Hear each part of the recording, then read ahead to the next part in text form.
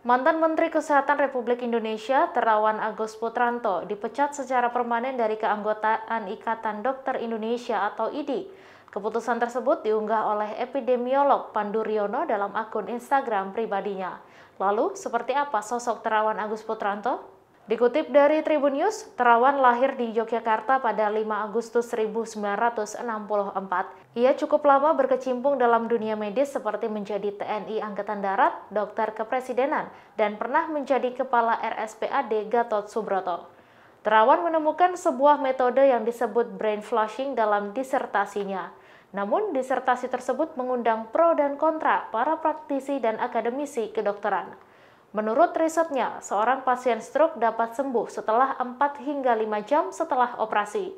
Hasil penelitiannya dalam metode penyembuhan pasien stroke ini telah dipatenkan di Jerman dengan nama terawan teori. Selain itu, metode penyembuhan terawan diakui pernah menyembuhkan 40.000 pasien. Saat pandemi COVID-19 di Indonesia, terawan menjadi inisiator dalam penanganannya dengan membuat vaksin Nusantara. Kemudian sosok yang pernah disuntik vaksin Nusantara sebagai vaksin booster adalah Menteri Pertahanan Prabowo Subianto.